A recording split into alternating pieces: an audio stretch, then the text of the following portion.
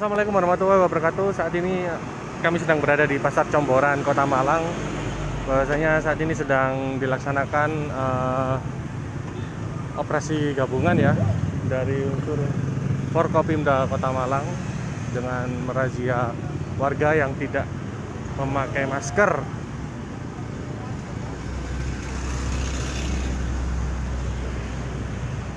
Beginilah situasi yang ada di Pasar Comboran di mana petugas dari Satpol, polisi, TNI, Disub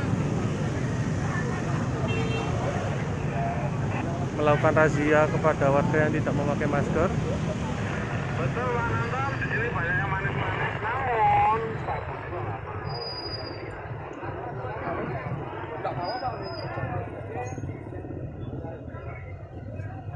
Saat ini ada salah seorang warga yang sedang diinterogasi oleh petugas karena tidak memakai masker.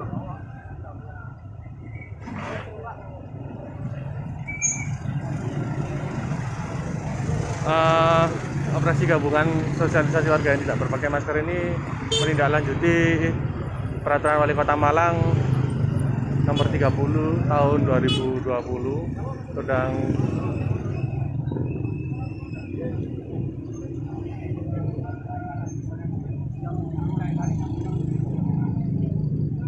beberapa warga yang tidak memakai masker tadi diminta untuk uh, menyanyikan lagu Indonesia Raya. Bersih-bersih. Dan sanksi sosial lainnya. Dan rencananya nanti ke depan sesuai dengan perwali tersebut akan ada sanksi administrasi berupa denda sekitar 100.000 rupiah. Kepada warga yang tidak berpakai masker. Dan bagi warga yang tidak eh, memakai masker saat ini kemudian oleh petugas eh, diberi satu buah masker agar bisa dipakai saat di jalan.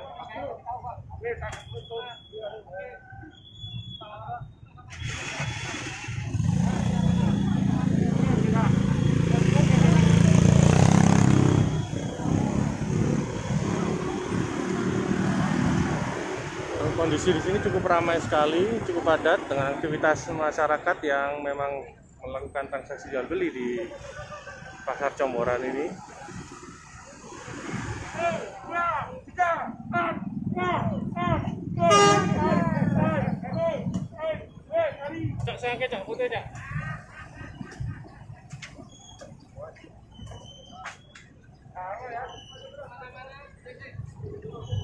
Ya ini adalah salah satu contoh eh, sanksi sosial yang diberikan oleh petugas kepada dua orang warga yang kedapatan tidak memakai masker. Mereka disuruh untuk push up selama 10 kali.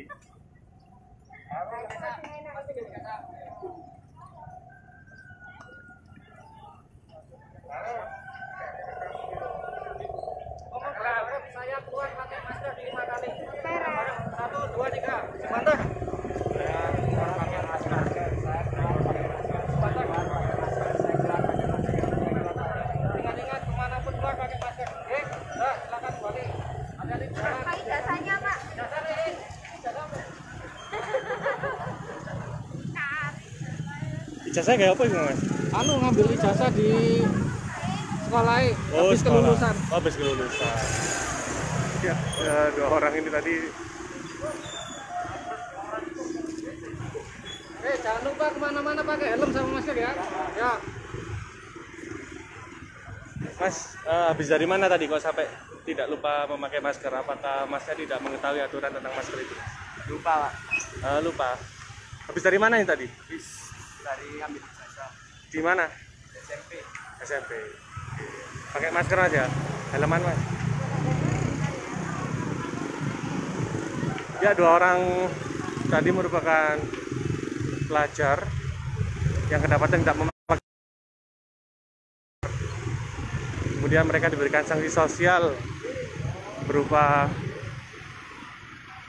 eh, diminta untuk push up selama 10 kali terus kemudian sama petugas mereka diberikan masker agar bisa dipakai